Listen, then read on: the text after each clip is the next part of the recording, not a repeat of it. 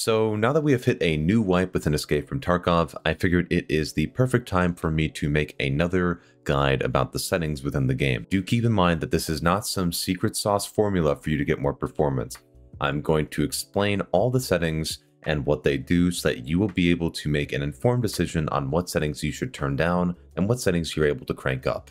It'll also include personal preference in the mix in terms of image quality, so keep that in mind as I'm talking about each setting. I will also discuss them in terms of being GPU or CPU bound for some settings, and essentially what that means is, for example, if you have a GPU bound scenario, your GPU is at 100% usage, and by turning the setting down, you should see an increase in performance. The CPU bound scenarios are a bit more complicated than that, but you can simply take it as any scenario that has the GPU being less than 100% usage. There are more complexities to that than just having the GPU less than 100%, but that's a general good basis to see if you're CPU bound. Now that that's laid out though, let's get straight into the settings so you can figure out what is best for you. I went to ground zero and figured I'd show you guys all of this within an offline raid so that you'd be able to see the image comparisons live. So with that, let's get to it. If you have any questions, feel free to leave them in the comments or within my Discord, which will be linked below. And of course, if it does help you figure out the settings within the game, feel free to, of course, hit all the YouTube buttons, like, subscribe, that sort of thing. But with that, let's get straight into it. There are a couple settings within the game section that you need to keep your eyes on. Automatic RAM cleaner is the first of those. Long story short, in the testing that I've done over the past half a year, automatic RAM cleaner does what it entails, sort of. It'll reduce your RAM usage by a couple gigabytes, especially in streets, before you get into the raid. But if you want to trigger this RAM cleaner while you're in raid, you will need to hit escape while you're playing. So for example, if I walk around for a second, I don't think I can get my RAM usage high enough, but just for the sake of demonstration, if I wanted to clear my RAM, I'd have to find cover, press escape, go through a stutter for a little bit, and then once that stutter is completed, you should see your RAM usage dropping dramatically, and then it is purged correctly so you're able to go on with your day. The reason this is so is because BSG does not want you stuttering in the middle of RAID for when the RAM clears, because the program has to quote unquote stop to then allow all the memory to be purged that is no longer needed, and then resume.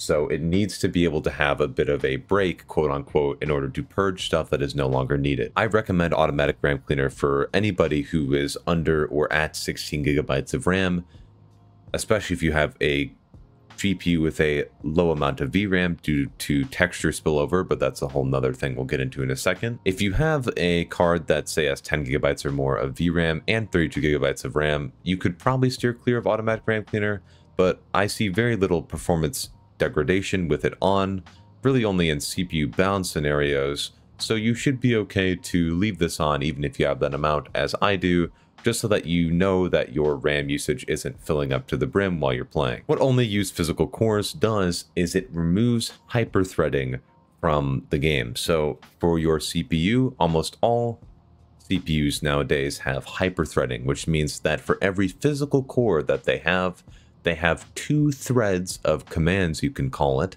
that both go into the CPU. The second of which being considered a logical processor. By disabling this, this supposedly improves performance by ensuring that everything is being sent straight to the actual physical core, and there's no stopping and stalling waiting for both tracks to be processed by the single core that is being bombarded by two separate tracks. This is one of those settings that sadly I cannot tell you if this will improve your performance or not. This is very dependent on your own system, so I highly recommend that you run a couple of raids with it on and see if it helps, and if you don't see any difference, you can leave it off. There has been a lot of issues in the past with this setting not working correctly, so there is a solution to that, forcing it through Process Lasso, and I do have videos on that already if you'd like to check them out. I'll link them in the description below. Everything else here is personal preference and doesn't have any effect on performance at least and we can move ahead over to the graphics section. Here there is quite a lot, but we'll go through it one step at a time. Screen resolution should always be set to your monitor's native resolution. For me, it's 2560 by 1440p, so I do have that set correctly here. If you're looking for ways to improve your GPU-bound performance, there are other ways to do this than lowering your resolution here, and that comes to the upscalers that we have down here that we'll get to in a minute. Screen mode should always be set to full screen for the best latency possible. The only reason I run in borderless is because I like to tab out every 0.2 seconds, and if you do the same, you might like it at borderless as well. I cannot find any performance improvement with full screen, though there have been some reports of that, but the biggest improvement is to the actual latency of the game. So if you can afford to play in full screen, you should, just to improve the responsiveness of the game to your monitor. Aspect ratio can be set to whatever you like. If you want to go trade 24K all over labs, then 4x3 might be for you, but holy crap do I hate this resolution aspect ratio. Um, yeah, please, uh, if you're not pro, I would recommend just, just, uh, just just stick to 16 by 9 and uh, make your life a, a, lot better. Supposedly the stretch aspect ratio allows you to see enemies easier. It allows you to have a quote unquote wider player to hit on your screen. But of course, that is a personal preference thing. If you don't like getting sick while you're playing, you can always just keep this at default and move along. Next, let's move on to the actual settings. Texture quality is a uh, well, an interesting topic. There is a lot to this, and it affects more than just your VRAM, as textures do spill over and sit inside of your RAM, regardless of what texture quality setting you are running, especially if you're playing maps like Streets of Tarkov. For this reason, this setting is heavily dependent on the amount of VRAM you have in your card and the amount of RAM that you have in your system. For those of you, say like me, who have an 8GB graphics card and have 32GB of RAM, you should be able to get away with this being set to medium on most maps. Streets might be a little bit tricky the longer you're in there, but I tend to be able to get away with it with very little stutter on streets, and if you do have stuttering on streets, you can always enable Streets of Tarkov lower resolution I dude, I sang this whole thing. This this is way too long of a setting name. Essentially what this does is it lowers the texture resolution one down from the setting you have set, specifically for streets too. So for example, if you're like me and can run at medium texture quality on all maps except streets, you can set this on down here and it'll set the low texture quality on streets so that you don't have your VRAM spilling over as often when you're playing, resulting in less stutters and improved gaming performance. Of course, it'll look a bit worse as the textures will now be set to low, but hey, at least there's less stutters. Not to mention you don't have to go and change the texture quality whenever you want to play streets, it'll just automatically change to a lower resolution so that the game doesn't freak out. However, if you're not like me and you have 16 gigabytes of RAM, I would highly recommend setting this to low to ensure that you are not getting over your 16 gigabytes of RAM limit, especially since you might have a card that has, say, 6 gigabytes of VRAM. I highly, highly recommend if you can handle the blurriness of low textures to go to low textures if you're at 6 gigabytes or less of VRAM and 16 gigabytes of RAM. 32 gigabytes of RAM and up, along with about 10 gigabytes of VRAM and up, I'd say you're able to start experimenting and go towards high textures. Just be careful as that can overflow and likely will overflow, especially if you're at that 10 gigabyte uh, load that I said there. On the screen now is a comparison of low, medium, and high textures, so you understand what each one looks like. Feel free to pause in the video so you can see each setting and make your own decision from there. Again, my personal recommendation, if you can handle it, is medium. If you don't have enough VRAM and RAM to spare, you'll have to go with low, and high is pretty demanding memory-wise, so only do that if you have a good bit of VRAM and RAM to boot. Shadow quality is next. I made a whole 10 minute video about this exact setting, just discussing its CPU and GPU bound performance as people were saying that low shadows had an impact on CPU performance. With that in mind, I do recommend low shadow quality for pretty much everybody, unless you cannot handle the resolution of the shadows. This setting has no effect on the distance of shadows rendering as far as I can tell, as the shadows distance slider that was around about 3 to 4 wipes ago is no longer there. That is now a universal value, and this only affects the resolution of shadows that you see on the ground. I would have loved to show you comparison shots, but I can't set the time to be the exact same raid, and the shadows constantly move, making it very difficult for me to get actual quality differences to show you guys. I would recommend just sticking too low and avoiding the hassle, as that will allow you some extra GPU bound performance in case you are hitting that point. LOD quality, or level of detail quality, controls how far objects lower their level of detail. So for example, if I set this down to 2 and begin walking around, you might notice that trees start to pop in at a higher resolution as I walk towards them, or sort of phase in. That change is the level of detail increasing as I approach the tree. This also occurs with objects on the ground and trash, as you'll see as I start walking around. So if that pop-in annoys you a lot, you may want to set this a bit higher. Secondarily, if you like sniping and want to see players at a distance, setting this at a higher what's the word? Setting. Oh my god i just blanked there. Yeah setting this at a higher setting allows you to see players further away. In general this can affect your cpu bound performance a little bit. 2.5 is what i tend to run at but 3 is good for sniping. Or if you really want long range engagements 3.5 for me though 2.5 has not caused me any hassle and reduces a good bit of the pop in that i tend to notice. With that in mind you might be wondering what overall visibility does but it controls the rendering of further away distant background objects. This is also useful for sniping to ensure that nothing's popping in and out, and I tend to run this at 1500 so I don't have any issues with this. The performance difference that I was seeing when setting this to different values is essentially mutt, so feel free to set this to whatever you please. However, 400 can cause issues with rendering the backgrounds of certain maps, such as the woods and nuclear silos, so just keep that in mind. My minimum then is 1000, and if you want to make sure you don't have any issues ever, set it to 1500. The next setting is a bit controversial, and I know I get a bit of flack for this sometimes because I like to run a TAA high anti-aliasing. If you've been wondering what TAA high does, it is temporal anti-aliasing, and it controls the removal of jagged edges or shimmery spots that you see over time. It takes data from several frames and links it together pretty much to ensure that there's as little flickering as possible in the image. As you can tell, if I set from TAA high down to off, the difference in shimmeriness is quite apparent. However, it is a decent bit sharper, so if you like having the image super sharp, there are some people who prefer to have anti-aliasing completely off. For me though, the image is just way too sparkly and for example, the Picatinny rail always distracts me when it's sparkling like that. So as a minimum, I recommend FXAA or fast approximate anti-aliasing as it doesn't have too much of a GPU bound performance impact, but it does help to reduce the amount of flickering that you see. It's still apparent, but it does help to get rid of it at least a little bit and it's not as atrocious. It also doesn't introduce any of that blurring that you see with TAA, which I'll switch to now for reference. As you can see, TAA gets rid of a good bit of that shimmering, but it does also get a good bit blurrier, which is why I prefer going to TAA high, even though it does have a small performance impact, so it's a bit clearer of an image while still retaining that nice overall look. It's something that I personally prefer, but if you need the extra GPU bound performance, you can go ahead and switch it to FXAA or off as long as you don't mind the fact that you have a bit more shimmering. The performance difference between these, as far as I can tell though, is quite small. I'll show you, for example, on this, I'm right now I'm at TAA high, and if I go to off, the exact opposite, most, or quote unquote, least graphically intensive,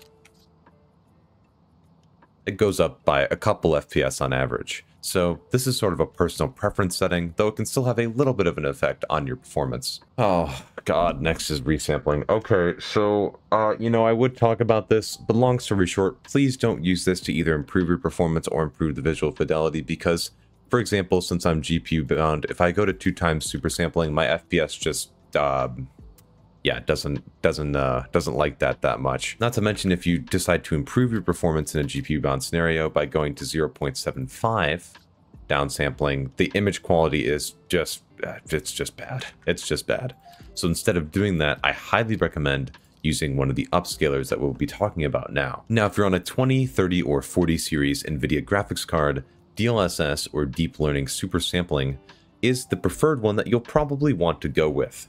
However, there is a bit of a caveat with it that I'll mention in a second. DLSS and Fidelity Super Resolution, AMD's competitive technology, are both temporal renderers. In the FSR 2.2 and DLSS use data over time to reconstruct the image and upscale it from a lower resolution to give you a better image quality than if you say was was running resampling at a lower resolution or just lowering your resolution here. If you don't have the 20, 30, or 40 series GPU that I mentioned here, everybody else can use AMD's FSR 2.2 as that is their competitive technology and it does do a decent job at upscaling, though it does have a lot more flickering than DLSS does. Some people do prefer FSR 2.2 as their upscaler, however, as DLSS is a bit of a blurry implementation in this game. However, I don't recommend running FSR 1.0 ever as it is a spatial upscaler instead of a temporal one, meaning that it only takes the data from one frame, not several, to attempt to upscale the image back to native resolution. That can improve image clarity to an extent, but it does not improve the quality, as there is no blurring from the temporal nature of DLSS, for instance, but the actual image quality and upscaling quality is way worse. I'll have all three on screen uh, over the next 15 seconds or so, so you'll be able to see the difference in image quality and make the image or make the decision for yourself. Keep in mind, the lower you set this, the worse the image quality will be. I will be showing the highest quality at 1440p for each one of these upscalers, so you can make the decision from there.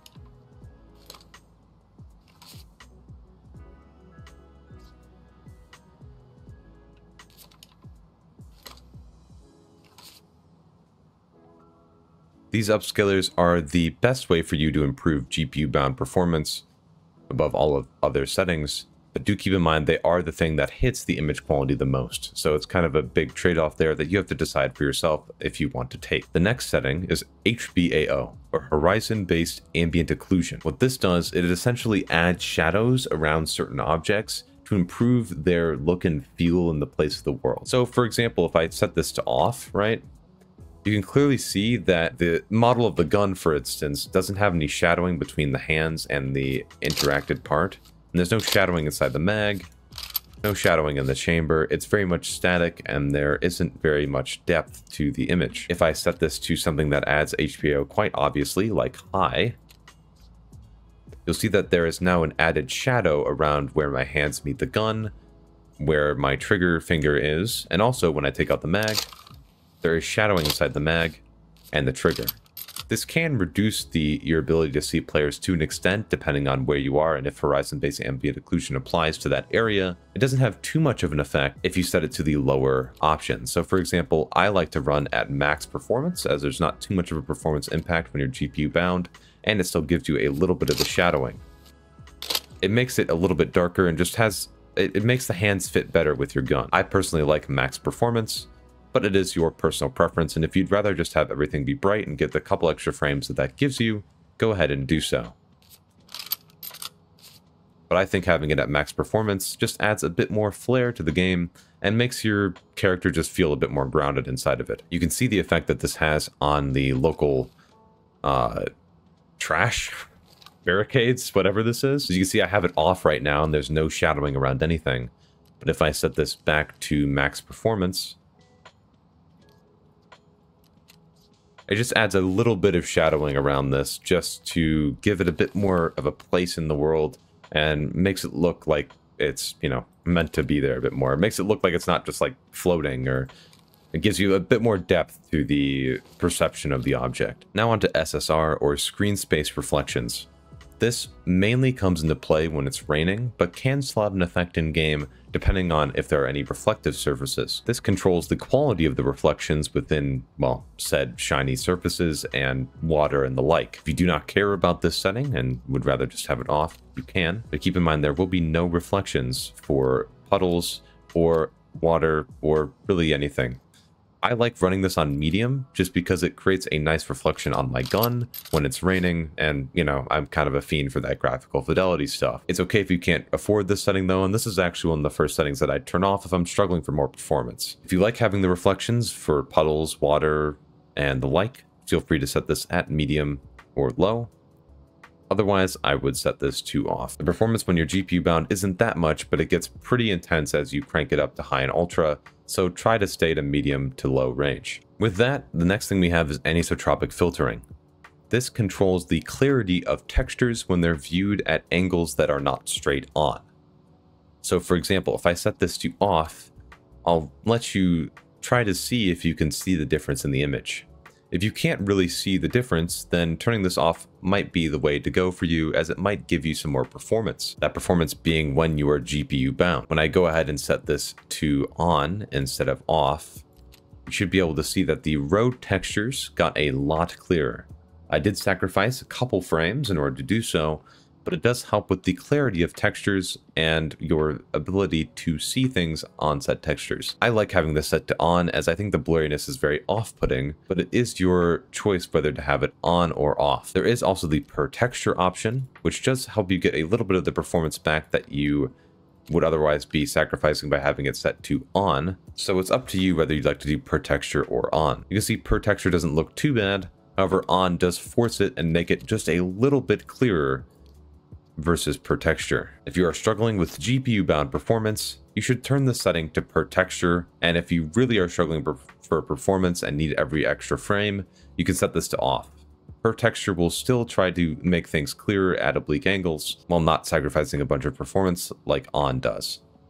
And when I say a bunch, I mean, what, three, four frames. And next we go to NVIDIA Reflex Low Latency. Now, if you're on an AMD or Intel card, you won't see this, but essentially this is for NVIDIA users to get a snappier experience with less latency within the game. I do recommend having this on for pretty much everybody as this will make the game feel a lot snappier and reduce the latency allowing you to react quicker to things on your screen. There were rumors last wipe about this having your frame rate. However, this seems to be resolved here, and so I can recommend this on again. If there are any changes with this, feel free to subscribe, and I will, of course, let you guys know in community posts about that issue if that ever does pop up again. For now, I can recommend this on pretty safely. On plus boost essentially keeps your clocks higher, so if you'd like to have that, feel free to set that on but this setting does put a little bit of increased pressure on your CPU. Doesn't affect performance that much in my testing, but if you want to ensure that it's not putting too much pressure on your CPU when you are CPU bound, say on streets for instance, then you can set it to just on.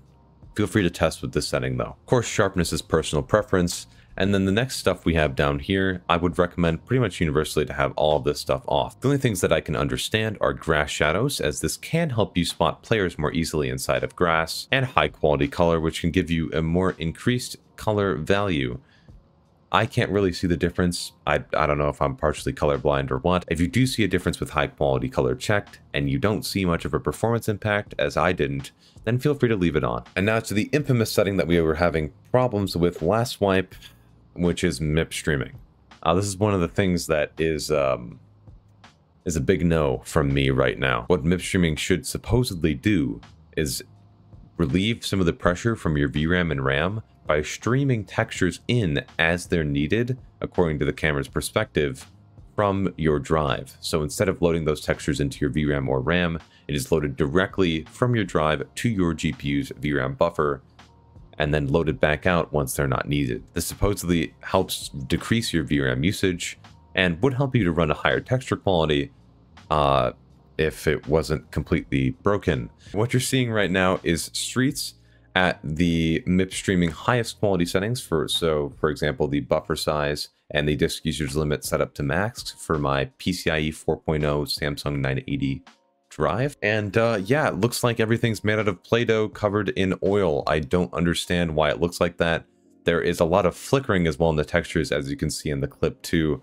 Dude, why is it what the so i just I, I, mean i can't recommend this i mean this looks awful and not to mention my vram usage isn't that much different either i mean it's just I, I, I think this is broken. I, I don't know why it's looking like this. Also, sadly, I wasn't recording before this, but when I was in RAID with MIP streaming on and the weather changed, the entirety of all of the foliage and everything turned black.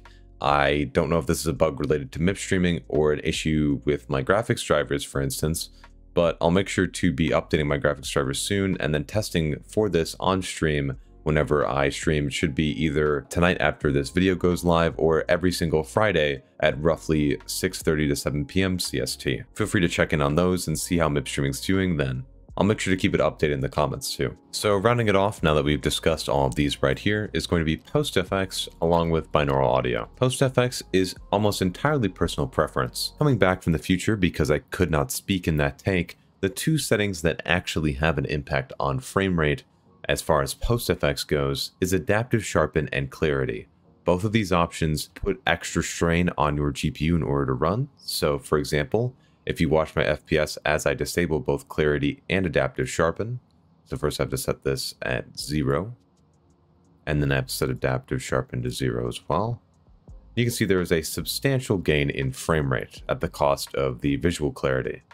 It is your call if you want to use these settings, but it seems like their impact is fairly universal at any intensity as long as they're enabled, they have the same sort of impact in frame rate. Keep that in mind when you are choosing your settings for these post-FX. The rest you should be free to change without any sort of detriment. And of course, if you want to see the full breakdown of that, you can go ahead and go to my post-effects video, which I will also have linked in the description. Finally, the last one is binaural audio. This can have a small, and I mean small, impact on CPU-bound performance.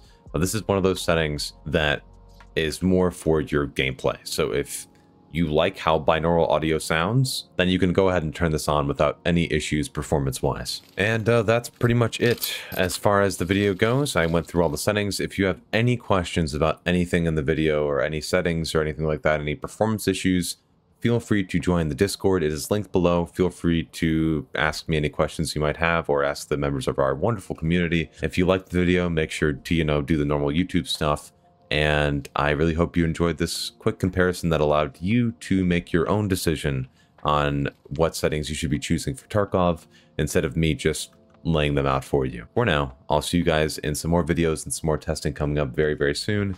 And this is Klem, clocking out. Later.